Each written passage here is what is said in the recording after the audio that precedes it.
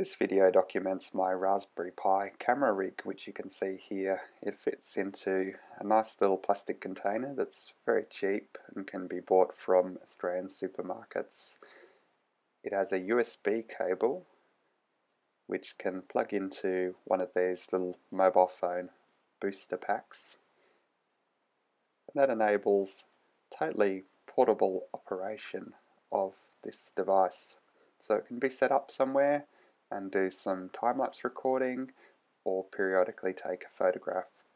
We can see it booting here and the little lights towards the top left of the box show that the Raspberry Pi is booting up. Here's a close-up showing the cutout of the plastic and the camera module poking through.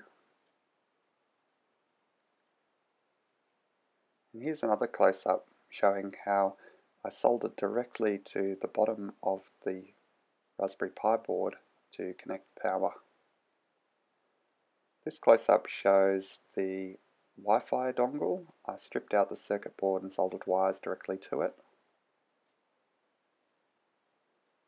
And here I show how I soldered those wires directly to the Raspberry Pi.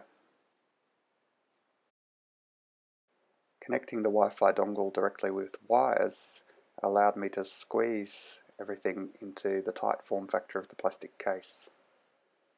And this is the finished product. I also added a button to allow a graceful shutdown of the device.